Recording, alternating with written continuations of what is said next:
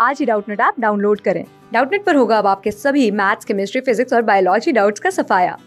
बस अपने क्वेश्चन की फ़ोटो खींचो, उसे क्रॉप करो और तुरंत वीडियो सोल्यूशन पाओ। Download now. Statement A catalyse the transfer of group other than hydrogen ठीक है? Statement B catalyse the removal group from substrate by mechanism other than hydrolysis leaving double bond Statement C, catalyzing the linking of two molecules by using energy into one molecules. Identify the class of enzyme for ever function okay बच्चों, अगर हम लोग first option के बारे में बात करें, बच्चों फ़र्स्ट स्टेटमेंट बोला है कि ऐसे एंजाइम का नाम बताना है जो कि क्या करता है बच्चों transfer of group and other than hydrogen तो इसको हम लोग क्या बोलते हैं बच्चों? ऐसे ग्रुप को हम लोग क्या बोलते हैं? ट्रांसफेरेज क्या बोलते हैं बच्चों? ट्रांसफेरेज तो ट्रांसफेरेज क्या करता है बच्चों?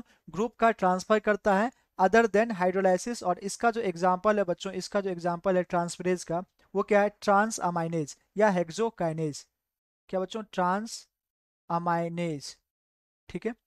नेक्स्ट वन अगर हम लोग बात करें next catalyse removal group from substrate by mechanism other than hydrolysis leaving double bond बच्चों, ये कौन कराता है? लाइस कौन कराता है बच्चों? लाइस तो लाइस क्या करता है बच्चों? रिमूवल करता है।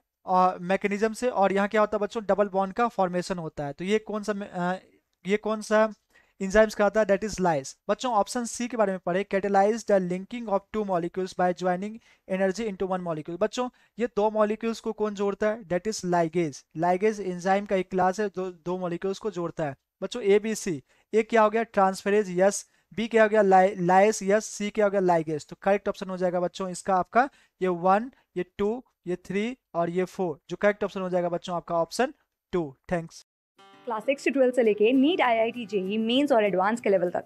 दस मिलियन से ज़्यादा स्टूडेंट्स का भरोसा. आज ही डाउनलोड करें डाउट नेट आप या व्हाट्सअप कीजिए अपने डाउट्स आठ चार सौ चार सौ चार सौ पर.